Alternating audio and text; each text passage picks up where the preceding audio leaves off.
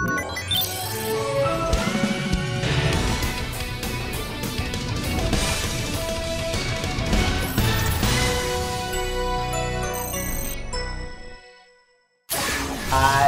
I'm Kellen. Sometimes I do stuff with Inktank. I'm going to do more soon, I promise. I'm very glad that Rob is uh, letting me help him with this review here. Um, I chose this episode, Outbreak, because I love the writing in it, and I love, well, you're you're going to see it's very unique among any Ben 10 episode ever for uh, for what happens in it. I think that's enough to warrant importance as a five, but we'll see what Rob thinks. Thanks, Kellen. Always glad to have you here. Yeah, so Outbreak is famous for this key factor that makes it stand out from every other episode of Ben 10. And if you've seen this one before, you know what I'm talking about. But as for the episode itself, well, so this is an episode where Ben has to learn how to be useful without the Omnitrix, which has never been done before. I'll get more into this during the rating section, but this one really should have been more about Ben's leadership than him just learning to fight without the Omnitrix. It has all the building blocks of a story to help evolve Ben as a leader, and ultimately Ben's experience with his aliens to deduce how to combat them and exploit their weaknesses, and then command his own mini army at the end, is the key to defeating Psyphon, not just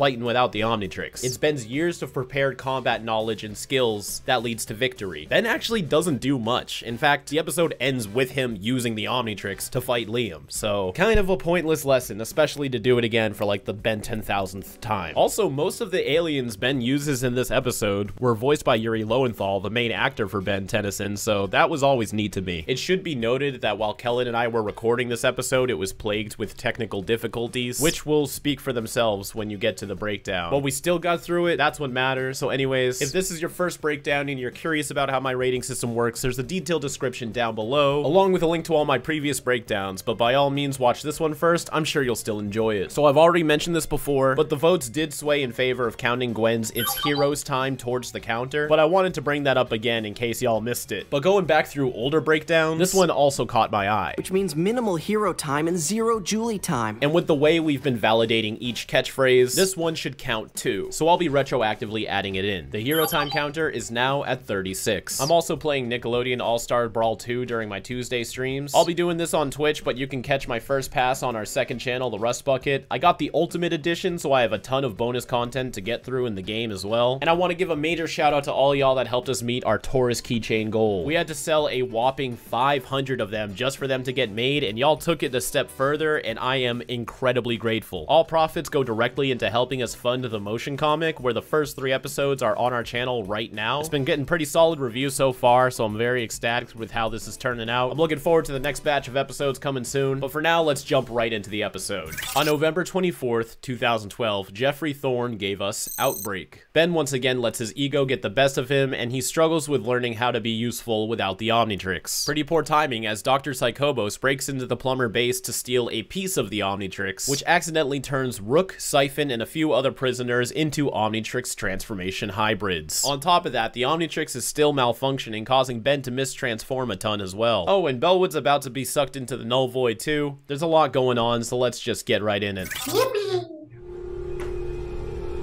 USS Enterprise. Yeah. Psychobos' ship. It looks similar to like the buildings on Brainstorm's planet. Yeah, the mushrooms. there. Yeah. This is where Jim Carrey was teleported at the end of Sonic the Hedgehog. Easy, old friend.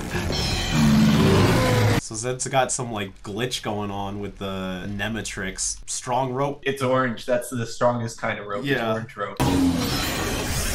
The spider thing is somehow much stronger. Do you have a favorite predator, by the way? Um, I kind of like that one because it does the whole red net thing. It's fun. They're they're all pretty fun. I like Hypnotick, but he hasn't shown up yet. Oh, I just got that hypnotic hypnotic. Haha. You said you would have the Nemetrix fixed by now. Malware's second form, or technically third form if you count the yellow one. we saw him as that before, yeah. Uh, at the end of the last season, they tell Malware's story out of order a lot more than I realized, because this is the second time you see this form, but you still haven't seen the flashback to show why he looks like this yet. I'm kind of fine with that. I, I mean, at the time, of course, I was confused like everybody else, but it's not often you tell the story out of order, at least in this show. The beast continues to change form at random. This would be so much easier with an actual wrench. Ugh. pathetic piece of Galvan technology. Those fucking Galvans. What is he even doing? What's he turning? Is he just sort of rubbing it until it does something? It's not a genie lamp, Psychobos. He rubs it and then an Ectonurite pops out. Aw shit, now my camera's lagging like fucking crazy. I think you need a new computer. I, I think she's struggling. Shit, yeah, when Premiere's playing, I lag, but when it's paused, I'm fine. That sounds like a CPU issue, you know? Let, let me, I'm sorry to have to keep fucking with the settings.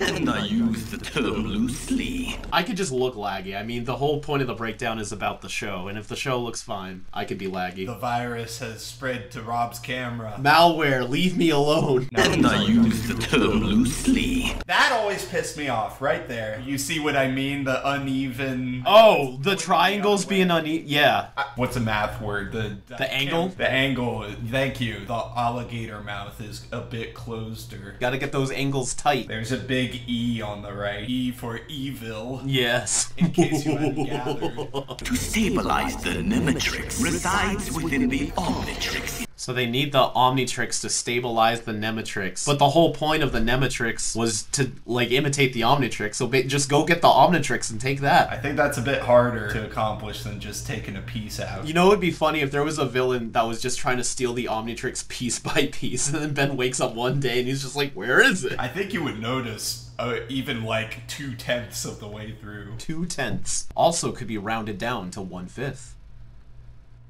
Shut up. What's I'll retrieve it. Your single-minded pursuit of Ben Tennyson as a hunting trophy has clouded your sight of our true goal. Not to me. What the hell is that thing? Why doesn't he use this against Ben? That's this universe's version of a Pokeball. He should just use the Pokeball. Look how effective It's this not is. a Pokemon, Rob. Okay, he turns into Pokemon.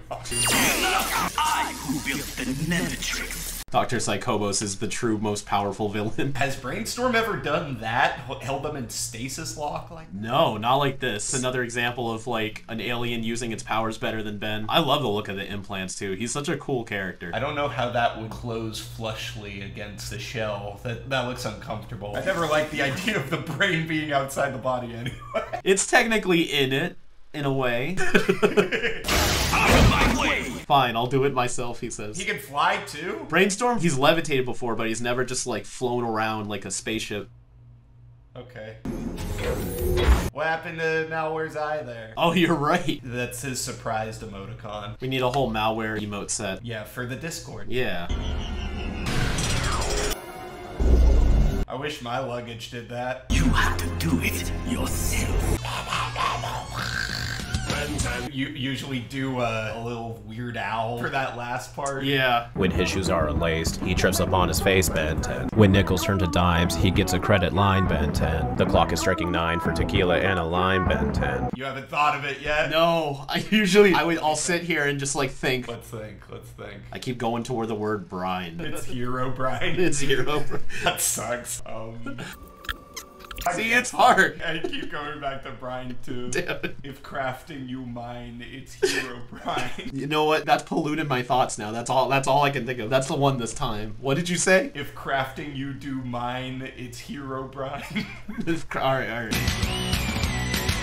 If crafting you- fuck. Hang on. What was it? if crafting you. This is stupid. if crafting you do mine, it's Herobrine Ben 10. Just for you. You ever look at your child and you're just disappointed? Oh yeah. There's a reason he doesn't live with us anymore. Get on with it. I love seeing them train. So how come they're like all circuity, but inside they're just stone pillar? That's true. What's the point of these? It's budget cuts. It's it's all made from uh, Blukic and Driba making paper mache.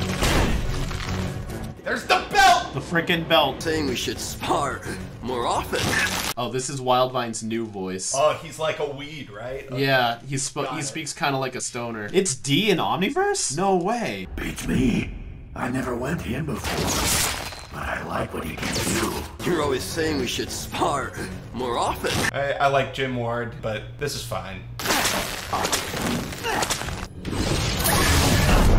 That's That's awesome. When I've watched this before, it looked like Wildvine jumps and Rook transforms Ben. Because look, he smacks the Omnitrix. Yeah, but the aura starts off before that. Yeah, I think it's just Ben pinning him down, but it, it'd be cool if like Rook was fighting Ben and he did try to like transform him for a better go. This is one of those times where he can just change himself with his mind. I wish he would do that more often. Same. That guy's cheap, but I've got the Omnitrix, so I win. Man, I hate that. They're doing another story where it's like Ben's got to learn how to be a hero without the Omnitrix. Yeah, he's got his old ego back, and it's clouding his judgment, young grasshopper. It's a new series. We gotta we gotta do it all over again. I do love this episode though, but like it's it's built on something that he should already get like a dozen times over by now. It does something new though. That's what I'm excited for. What happens if you ever do not have the Omnitrix? The Omnitrix never fails. Whoa. Never? Never. Never. We're just gonna say never. Yeah, right. Uh, he's just an amnesiac at this point. Something happened to him to make him forget, like, the events of Secrets of the Omnitrix and many things since then. Maybe constantly switching his intellect between different forms causes him to have immense memory loss. Yeah, that can't be good. Switching between being as smart as gray matter to as dumb as Rath in a flash must put you through some mental whiplash. That definitely kills some brain cells. So I never fail. Never? It wouldn't be a bad idea to do some drills without the Omnitrix. Might isn't always right. Episode 5, Ben. Come on. I love this. Snack machines on Earth. That is not a snack machine. Why does everything in this space have to be so alien? That is not a snack machine. Ben's just going senile. That's how I'm headcanoning this. Yeah, what is he putting a coin into? Put coin in, press button, juice box. Yeah, he definitely just jammed some signal there. There's gonna be a plumber in distress that can't get a hold of anybody because there's a quarter. It looks like a Wii. Comment what you think this thing does. Yeah, what do you think this is? There are three different punishments you can give to a random person around the plumber base. That is not a. I love that. Multiple targets incoming. Those things are cool. Uh, pincer things look like paper though. Yeah, I ne- I never really like when they make stuff look super flat. Like when they draw Clockwork's fingers or something and they just look flaky. Oh, those things are giant. Wow. Concentrate fire. Why does he need that platform? Yeah, what's that Gwen disc? I thought you could fly. He's like, I'm tired, man. All right, you evil robots. That was a weird way to activate it. He did the two fingers thing and then it slides open. That's not how that works. Hey, brainstorm guy! If only he could transform mentally, right? Oh yeah. Wow, the, he, he's the most effective Ben 10 villain. He rolls up, ambushes the plumbers, scrambles them all, grabs Ben before he transforms, and swipes this piece like nothing. He's yeah. in and out in like 30 seconds. Vilgax should be teaming up with this guy. The peas touches a part of his brain and he forgets what the word milk is. The cerebral crustacean is escaping. Then get him.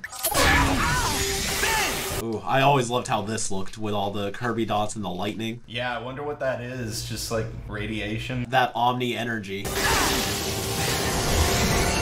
This is such a great design too. Somehow like the Revonnahgander patterns match perfectly with the Gourmand shape. They did a good job on on Rook Chuck. Yeah, great transformation too. This is unsettling. Now, do you think he should have gotten a slightly different voice? What, like voice effect wise, or I don't know, like his his whole body changed, but he This is unsettling. he's still just Rook. maybe from a union standpoint that would have counted as another character, and then they would have had to pay him more, or maybe they just didn't feel like it. It's like in the reboot where all of Kevin's aliens are still just Greg Cipes. Another on the tricks? Dark matter. First, I could use a change. Incoming! Come at me, matchstick! Prepare to meet bootleg. he made bank off that one. Phased pulse clips. That's adorable. First squad fall back and change ammo. Second squad, give them cover. That is cool though. I'm loving to see like the plumber procedures and stuff. I would have liked to see different color beams from that. Yeah, changing the ammo, it should it should look visually different. Something else. Yeah. Now he's the one with amnesia. Where am I? The intruder escaped. Man, they got this shit set up fast. It's like they knew. They're like, one of these days, Ben's gonna fuck up somehow, so we gotta be ready. That doesn't look like something that expanded out of something either. That looks like it would have taken them a little bit of time to. Yeah, this is built in. Right there. It's me. Rook. Ew. Wow. What's what about him is gross? That's, Racist. yeah, it's so mean. Ew. Ben is having a little problem of his own right now. We'll just reboot the Omnitrix. At least things can't get any worse. Are you crazy? Never say that out loud. I love this recurring joke. I it's it's one of my favorite parts of the episodes. What could possibly go wrong? Now, why did do that? Go that far down and specifically go to these three friends. Was anybody else affected? It's the Omnitrix AI. the Omnitrix is like, you know what would be funny? The Omnitrix is trying to teach Ben a lesson itself now. It's like, oh, you're really relying on me too hard? How about I do the teaching this time? Who do you hate the most in this building? Let me see that foot shift. Going from two toes to three. Blorp. Fistina. Who still doesn't talk? Yeah, she still hasn't talked yet. I wonder if like they always planned on her being mute, but eventually they're like, no, we'll we'll make her talk. This design is awesome. Excellent. When it comes up. Oh yeah, I forgot he gets affected too. He is not ready for this. I don't like it. I like that design. I feel like the aliens they're fused with, they probably chose based on like what would aesthetically fit with them the most.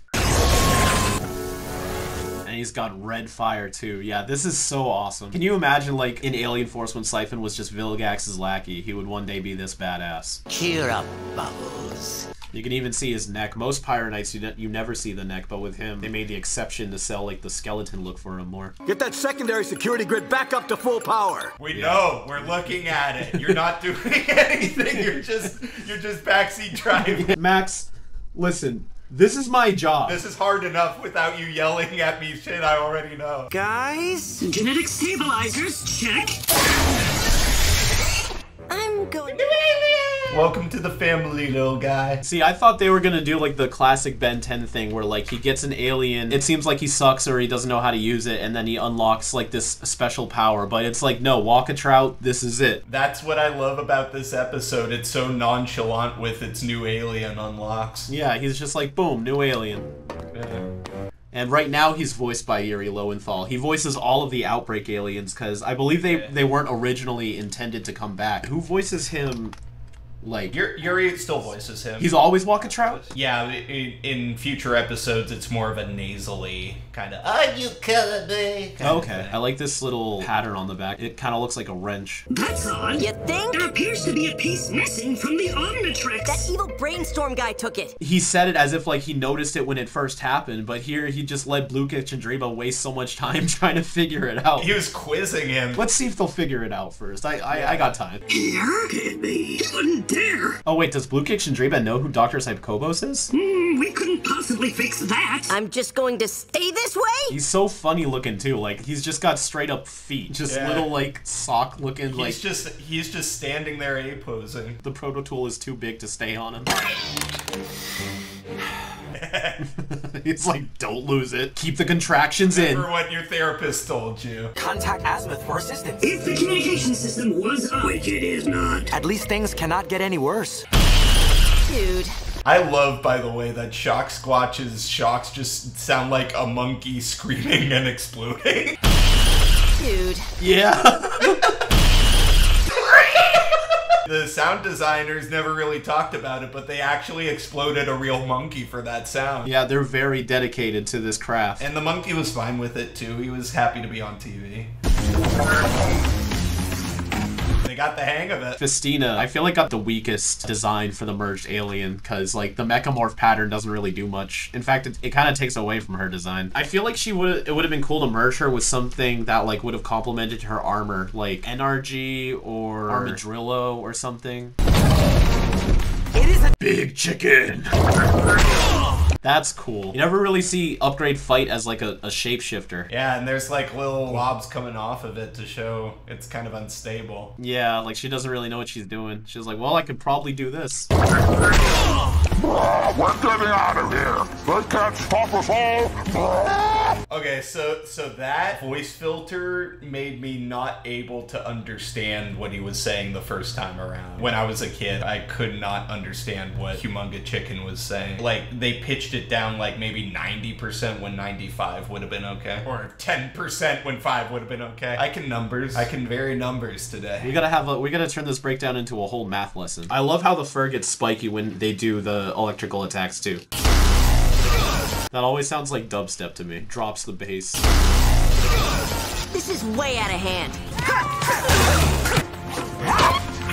I've always loved the little adorable karate chop. He just looks over like He's so used to his combat and melee attacks, he's not fighting like an alien. In fact, if he was intuitive enough with the Gourmand powers, when Psychobos was flying away, he could just catch him with his tongues and pull him back in. He's never been a different species before. Most people don't. You, Tennyson? Gotcha, little fishy! His freaking head takes up the whole screen like Fisk. Foreshadowing of Walkatrout's future powers. I love that he, he like smacks him in the face a little bit before he runs. Still think it couldn't get any worse? I thought you said not to say that. You made me say it! I really do not think we are talking cause and effect here. That that exchange right there was my pitching of how much better the comedic writing was in Omniverse to people. They're, they're like, it looks weird. I'm like, yeah, but it's really funny. Watch this. I feel like their their humor is best when like I love this dynamic here, but it's like when they're doing jokes that are just kind of too over the top, like the Ditto Looney Tunes reference that went on for like two and a half minutes. I wasn't really digging that. I think it was the Anilarg episode, but I just remember groaning constantly through it because the uh, jokes just stopped, just didn't stop coming. I was like, I can't take this battle seriously. They just won't stop with the NRG is G O O D. I cannot fight like this. Just stop being you so much and be me. Be me. I'm the best. You're up, Chuck. Eat something. I've never seen someone so happy to see a pile of gravel. He's just taking his time here, enjoying himself. Now up, Chuck it. One hits every single one of them and tosses them in the hole. The Gourmand equivalent to like cocking your gun when you're trying to threat someone. See, Rook kills his enemies. I'm still thinking about the face change. He saw his tummy rumbling and immediately he was just like, yeah. We have to go after them. You can't go down there as a walkatrout. So he does have a species name, Ichthypyrambuloid. Thanks for remembering it. I, I never can. But they call him a Walkatrout slang, sort of like the Nosdenians, they slang call it Megawatt. And then Ben just rolls with it and he was like, okay, well, that's what this alien's called. It's a good thing that he didn't get a Lenopan transformation and just call it Sludge Puppy. With this logic, that's what he would do. He would be like, oh, this is slang for that species? That's the alien's name. You have no special abilities without the Omnitrix. I am taking a team down there without you. You are a liability. Why he being so harsh on him? Rook's got a lot of pent up aggression towards Ben that's just seeping out through the Gourmand rage. The only way out is through this room. I like that his feet are exposed. Why'd you make us go up there? Well, what are you doing down here, you coward? Yeah, I couldn't really understand that the first time either. He just starts going off.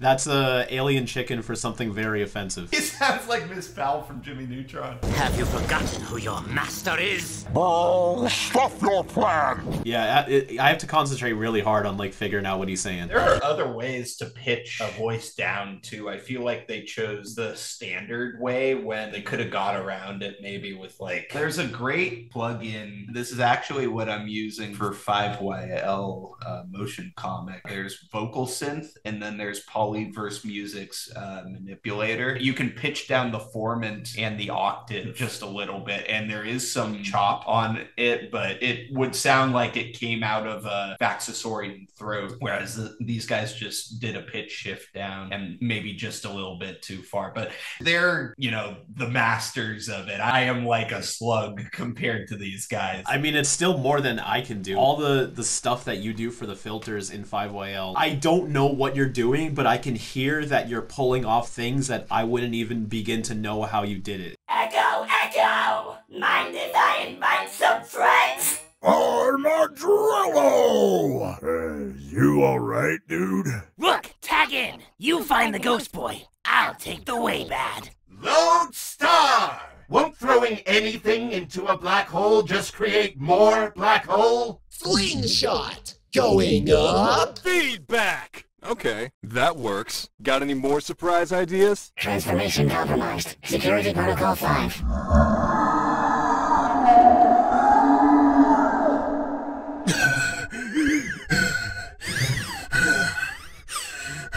It's just like there's like these special understandings that you have with the software. If they had messed with the formant and the octave, they also could have messed with the dry wet to make it so that it didn't completely overtake the voice like this pitch shift did. Your escape attempt was merely a diversion. A distraction. Really? He really doesn't know what that. Yeah, he's like he couldn't even finish the word. I, I feel like he was a bit smarter in the first episode. You have no idea where you are, do you? okay, so in the first run of it, before he revealed that they were where the null void projector was and that's what he meant, I thought that was just an insult on his intelligence. like, do you know where you are? Are you okay? That's what I thought he meant, and I laughed so hard. You have no idea where you are, do you? So this is interesting because the portal effect they use is the same portal effect they use for uh, Ultimate Alien and Alien Force for the Null Void, which I now just realized is also the same background they use for Echo Echo's transformation. But later on, Omniverse does do its own custom portal effect for the Null Void. Attention, plumbers! I am Psyphon. Why would they have this? They held a Skrillex concert there last week. Okay, let's put a small one there and a big one there, and then a small one has a little hat on top of it. And then hook it up to the comms. That's Psyphon? He's actually kind of cool now. Right? I've connected the Space's power core directly to the Null Void Gate. If the gate overloads, all of Bellwood will be sucked in. This is exactly what Max did to the Hybrid. The Null Void grenade blew up and then pulled everything in that vicinity into the Null Void. The poor, innocent citizens of Bellwood. I know it's a lot to ask, but I wish they had spent some extra bucks on uh, giving him more eye expressions during this. Who chose not to save him? Oh, he slowly raised his head a little bit. There you go. That's a really cool model too. There, the the core innards there. I love all of the little turrets and stuff on top of it. They do that a lot with the ships too. They slap on these turrets. That's like a battleship, right? That that has to be a spaceship. Yeah, this whole thing is a spaceship, and they don't. Does it ever launch? Like, uh, it does. In um, in fact, I think the episode's called "Out to Launch" or something. The final countdown. That's what it's called. The seventy-six episodes. So like five episodes before the series ends permanently, they actually use it as a spaceship. What is that thing? That's gross. Let's call it gum. They're calling it a multi-jolt burst. The multi-jolt burst. Multi-jolt burst. Yep. That seem like okay? The Omnitrix feels like a toy now that they can just open it like a door like yeah, that. There's no hinge either. It's just kind of like hanging on there. At least they put a view. Slurp. So does that mean all of the LED is just on that glass? Clearly, there's nothing going on there. This has a lot of weird implications. This blew my freaking mind when I saw this. I was Me like, too. what? We've never had two in the same episode, let alone five. And such a cool transformation too, like the way the head like morphs into pesky dust. The prisoners have sealed off all the maintenance tunnels. And it's all the tiny ones. I love how this guy is just like a slug. Don't they call it Shorty Squad? I don't remember what they call it. We'll probably hear it. I'm going. You are not going. See, I understood that, but I feel like some people might not have, so I'm glad they added you are not going after that. They could have said you are not. Yeah, I don't think I understood it. I'm going. I love the little cat mouth they gave him. Yeah, it looks cute on him. Holy shit, Galvans are huge now. Why are Galvans so big now? Do you think they had a scale chart for this? I'm sure they had some type of like scale chart as like a baseline thing, but I feel like when you start intertwining characters you don't normally use, like these characters probably aren't all on the same chart. It's probably like each of these are on a different chart because it's like this is a background extra, this is a Ben alien, this is a sub character. And we got that thing. And then boom, it happens again. Why is he already mad? Look behind. He just hates Ben. he was fighting with the Alpha Squadron earlier. Well, not the Alphas, but like the main plumbers. So maybe he's like the only one. He's like, I can't believe I gotta hang out with these guys now. Oh, come on. What is the point of this guy? That's quite the voice for him. Honestly, I'm not really a big fan of his other voice either. I like this one. It's totally useless. Why, why are you yelling at them like they did it? They don't know what they're doing. Good lord, everybody has just got an awful attitude in this episode. Yeah. Cancelled. Uh, no offense, dude. And he doesn't talk either like until like way later too. What if we put a boat steering thing on it? It's the one piece. It's a three piece now. And yet another one. Yay! I was like overjoyed to see that this was possible, that we could get this many new aliens in one episode. I don't remember if I thought they were going to do it more or not. I think I was just like, damn, this is really awesome. I feel like it really made like the idea that Ben has so many aliens. It's always possible for a new one feel like reignited because after a while it's like getting a new alien became a routine. Like once you get a new alien, you know you're not going to get another new one for a little bit. But here it's like 5 in one episode. It was like, what? The Omnitrix. This was them talking to us, saying we are not afraid to break the rules, and I mm-hmm. dug that. I believe Derek said that he wanted to leave them all powerless, just have some normal aliens in there. But the studio or whoever, or the toy makers told them to give them powers. I think out of all of them, Pesky Dust having powers makes sense, but like Molestache, he could have just been a mole, and that would have been fine. I, I wasn't a fan of the prehensile uh, mustache. yeah, that was that was a bit much. Aw, this guy's the worst. I actually really like Yuri's version of the worst. Like, Yeah. I know it's just like a pitch down, but I kind of like it a little bit more than his regular one. It, it sounds kind of pathetic. yeah, it, he sounds more pathetic than like dumb. Aw, this guy's the worst. It just fits for me. It's like he's just like this average dude. I'm coming.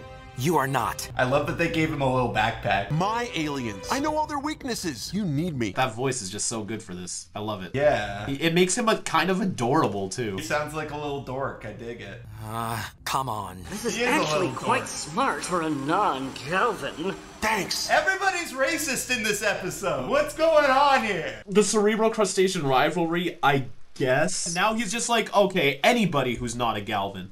This is actually quite smart for a non-Galvan. Driba, what the fuck, man? We'll shut down the core so the null void gate can't overload. We can rush the bad guys and take them out. Pretty cool looking. And it doesn't have any outlines though. Like usually Omniverse CG, they still do like an outline pass to make it blend, but this looks too CG. Here we go. I love all the sound effect design for this. Mark, if you're gonna keep talking like that, I'm out. What? You're the one who wanted to be in. You're the one who fought so hard to be in. You're such a brat. Well, maybe I don't want to now. Okay, so they needed that many people anyway. We have completed phase one.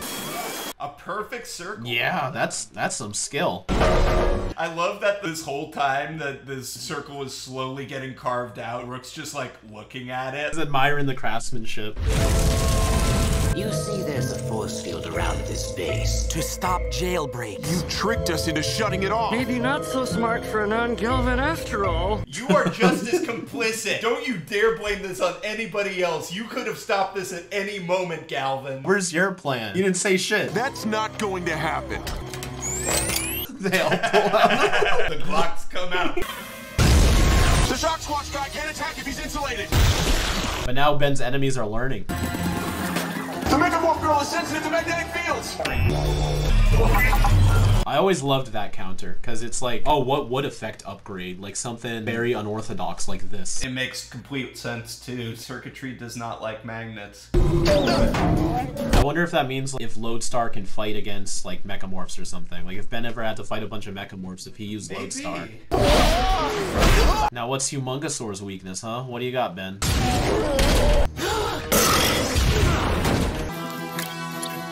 Keep adding shit to it. It's fine. You'll figure it out eventually. I wonder what Azimuth thought when you went in for a diagnostic. Like, Yeah. Jesus, what the hell did you do? Oh, and also Yeah, there you perfect go. angles. That's you what's did up. The good, you did the good crocodile knives this mm-hmm. time. And where's his leg? He's not indestructible after all. No. Acquired. Yay! Bubble helmet can't breathe now. Yeah, he just starts suffocating. The electrical energy cleaned all the insulation off of him. The Omni energy. The Omni energy. Fistina's still just freaking out over here because Blukic and Driba aren't doing the magnet thing anymore. She's just still wiggling. I really wish we got more of Rook fighting as Upchuck, though. We didn't even see his tongues. It's just a little disappointing. No! And thanks to you, I got me a new alien. Just the one, huh? I love that he got this alien from Liam, but you never really see him scan that alien, right? When Humunga Cock slaps him against the wall, he does it Omnitrix first. That's the sample. Oh, okay, I never got that.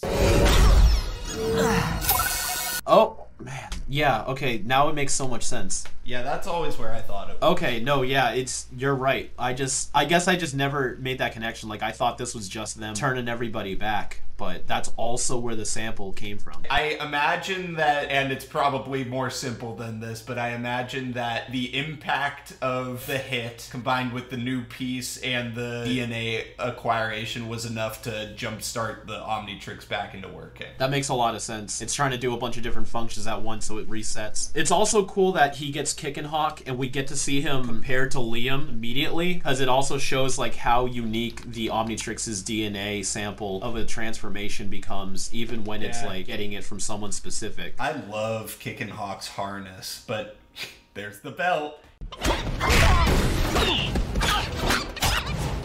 He fights so cool too. It's like martial arts, but with the fluctuations of a chicken. Going back to the point of civilian aliens and, and normal stuff, I also like aliens go their power is just different fighting styles like like Kickin' Hawk and Bullfrag later. Look how small Jerry is right here. And he's on like the same line as Liam.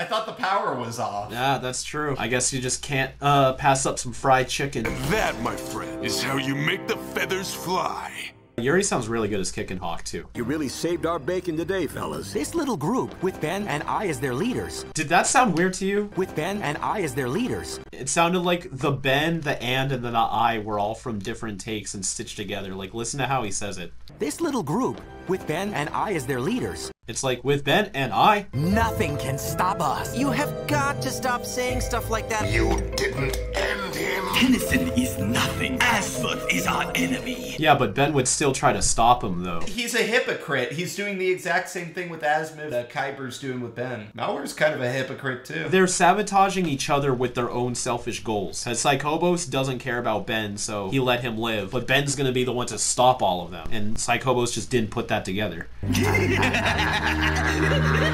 Khyber does an evil laugh. He's sitting that one out. He's like, you know, after so long, I'm I just I hate hanging out with you guys.